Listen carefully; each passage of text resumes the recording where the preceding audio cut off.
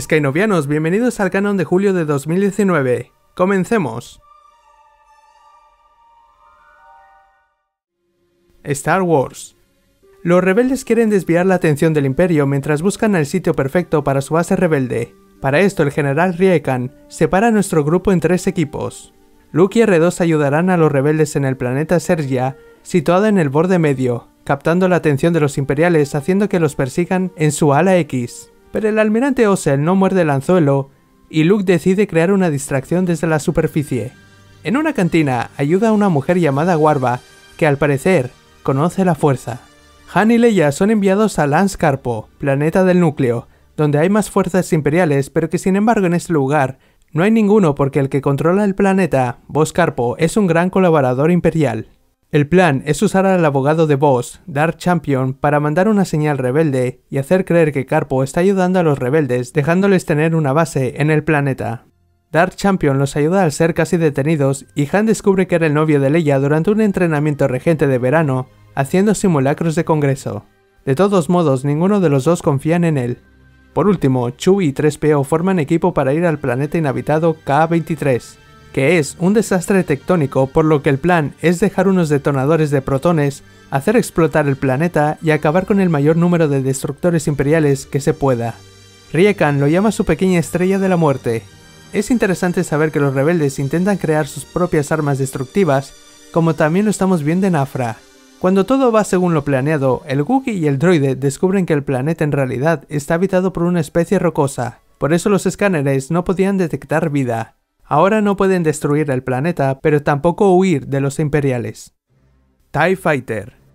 No hay mucho que contar de esta serie. Dos cadetes nuevos, Rax Sirmo y Van Surro, son enviados al escuadrón Shadowwing, tras la muerte de Lit Andri y Sin Grau. Los dos cadetes son los mejores de la Academia de Carida, mismo planeta donde empezó Han Solo en Cadete Imperial. Incluso se ve al instructor de vuelo, Yurib Nakan, el plan de Shadowwing es destruir una base rebelde donde van los imperiales desertores. En el flashback vemos un joven Ganem con su abuela hablando sobre el emperador diciendo que es un hombre que solo desea ser emperador para hacer lo que quiera. Un punto interesante de la abuela es que Palpatine no tiene ningún heredero si se hiciera viejo y muriera. Sabemos que Sidious mandó la operación ceniza en caso de que lo asesinaran, pero si tenía planeado aplastar a la rebelión, ¿estaría buscando alguna forma de hacerse inmortal? Doctora Afra, Bulada y Afra son avisadas por Kraken de unos cazarrecompensas contratados por la ministra Pitina Burr para acabar con ellas. Uno de ellos es el Wookiee Krasantan, quien les ayuda a escapar. La doctora Afra se entera de que Burr la busca y le debe dinero al Wookiee. Así pues, su nuevo plan es regresar con los rebeldes y robar el rifle del Jedi Wolf, pero Tolvan se lo veía venir. En los flashbacks, su madre no murió hasta después de que Afra fuera rescatada por los imperiales. Galaxy Edge Después de la reunión con Kendo, Hondo le pregunta a Doc Kondar cómo es que sabe sobre la espada Kashiun, que según la leyenda fue forjada por unos guerreros Sith de Dogutin.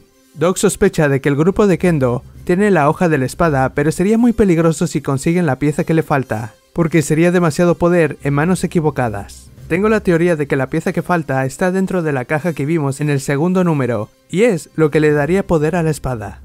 Ondar le cuenta a Hondo cuando contrató a Afra para ir al planeta de los Sith, Moravan, para conseguir la espada. Este planeta es el que visitó Yoda en la penúltima temporada de The Clone Wars. Tras lograr evadir las trampas de los Sith, usando dos de los guardaespaldas de Doc, muy propio de Afra, consigue la espada y salir del templo creyendo que podrá renegociar el precio con el Itoriano. Sin embargo, Triple Zero no pudo sorprenderlo y ahora Afra está en desventaja. Volviendo al presente, Kendo y su grupo llegan a la tienda, pero Doc está preparado con su droide de seguridad, mientras los soldados de la Primera Orden están a punto de entrar. La historia de Afra parece que seguirá en el último número de esta serie. Star Wars Adventures En Star Wars Adventures número 23, Lando y Chewie después de la fiesta de Endor van a encontrar información sobre unos piratas que están robando suministros a la rebelión. La única manera de obtener la información es encontrar el ahora corredor de batalla Sebulba. Durante la carrera son atacados por imperiales. Lando se las ingenia para formar un escuadrón con los corredores, incluido Sebulba, para ahuyentar al imperio. Por ayudarlos, los corredores no tienen ningún problema en dejarles a Sebulba. La segunda historia es de Java cuidando de un enfermo Bill Fortuna. Algo raro. Y con esta acabamos el mes de julio. ¿Qué te han parecido las historias? Déjamelo saber en los comentarios, suscríbete si eres nuevo, sígueme en Instagram, Twitter y Facebook y consideren apoyarme en Patreon para hacer videos cada día. Yo soy Skynobi y nos vemos en el próximo video. May the Force be with you. Always.